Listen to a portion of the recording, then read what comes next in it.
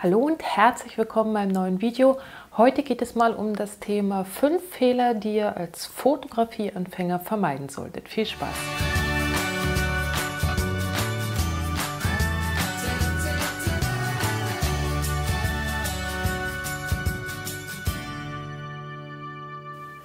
Als Fotografieanfänger gibt es eine ganze Menge Sachen, wo man darauf achten soll. Das kann alles ein bisschen zu viel werden am Anfang. Deswegen heute mal das Video, welche Fehler ihr vermeiden solltet, wenn ihr Fotografieanfänger seid.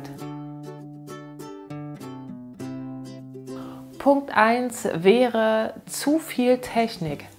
Ganz wichtig, ich sehe das oft, wenn ich in solchen Elektronik-Großmärkten unterwegs bin da kommen Leute hin, kaufen Kameras und dann wollen die Verkäufer natürlich eine ganze Menge Equipment dazu verkaufen.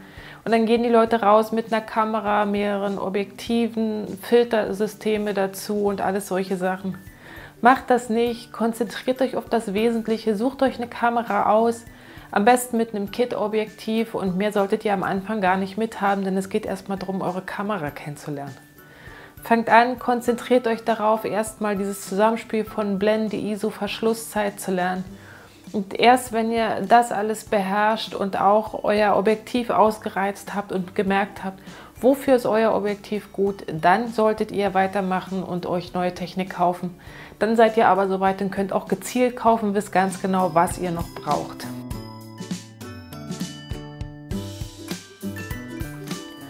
Damit komme ich auch direkt zum zweiten Punkt und zwar raus aus dem Automatikmodus. Ganz wichtig. Am Anfang würde ich euch empfehlen, nehmt den TV-Modus oder AV-Modus, heißt also eine Halbautomatik, wo ihr nur vorgebt, entweder welche Blende möchte ich verwenden oder welche Verschlusszeit. Schaut einfach, was hat das für eine Auswirkung auf meine Bilder, heißt also, gebe ich die Blende vor. Mit einer Offenblende habt ihr ein schönes Bouquet, schließt ihr die Blende, habt ihr mehr Schärfe im Bild. Heißt also, wenn ihr die Blende zumacht, kriegt ihr ein Bild, was im Vorder- und Hintergrund scharf ist. Und genauso bei der Verschlusszeit möchte ich ein Bild einfrieren, also schnelle Bewegungen einfrieren.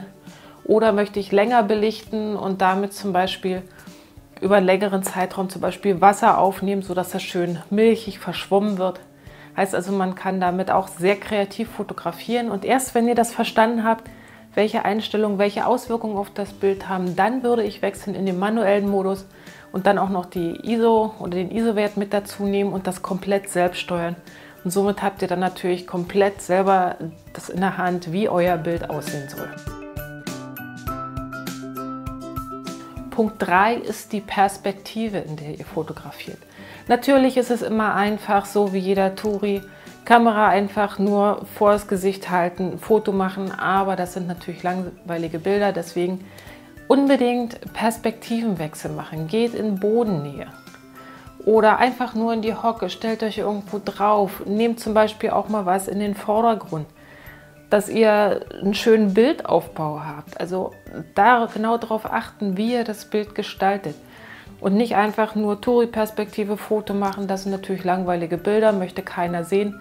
Ihr wollt kreativ fotografieren, deswegen Perspektivwechsel bringt unheimlich viel und wertet eure Bilder enorm auf.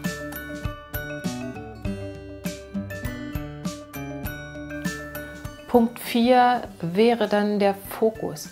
Achtet darauf, ihr solltet immer selbst entscheiden, wo liegt der Fokus im Bild. Natürlich könnt ihr den Autofokus noch benutzen, ich würde euch aber empfehlen, den Fokuspunkt woanders einzustellen, als es standardmäßig der Fall ist. Heißt also, ihr habt ja mehrere Fokuspunkte auf eurer Kamera. Könnt also zum Beispiel sagen, rechts oben soll der Fokus immer liegen. Da müsst ihr natürlich euer Bild auch so gestalten, dass das Motiv oder das Objekt, was scharf sein soll, dann auch rechts oben im Bild positioniert ist, damit die Schärfe an der richtigen Stelle liegt. Ansonsten habt ihr immer das Problem, die Kamera entscheidet für euch, wo liegt der Fokus. Und das kann natürlich auch mal ganz schnell daneben gehen und dann habt ihr irgendwas fokussiert, was gar nicht so gedacht war. Und der letzte Punkt in meiner Auflistung. Lasst den internen Blitz einfach geschlossen. Ganz wichtig. Der interne Blitz in der Kamera sollte schon unter dem Begriff Körperverletzung laufen. Einfach aus dem Grund, der blitzt alles tot ob das nun schön ist oder nicht. Er blitzt immer mit voller Kraft. Ihr habt also keine Möglichkeit, das irgendwie zu regulieren, wie stark der blitzen soll. Deswegen, wenn es sich nicht vermeiden lässt, wenn ihr einen Blitz benutzen wollt, dann bitte immer einen externen Blitz auf die Kamera drauf machen. Von mir aus gerne ein TTL-Blitz, da habt ihr nicht viel zu tun. Der misst selber, wie die Helligkeit ist und stellt sich entsprechend ein. Da braucht ihr nicht allzu viel Ahnung vom Blitzen haben.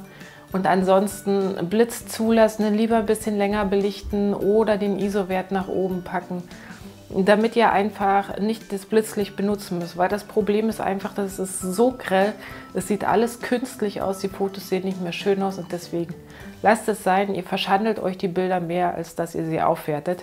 Selbst wenn ihr Porträts macht, natürlich kann das mal eine Hilfe sein, aber grundsätzlich, ich lasse den internen Blitz einfach aus. Wenn ich einen Blitz brauche, dann nehme ich einen externen Blitz, packe den oben auf meine Kamera drauf und dann habe ich weniger Probleme.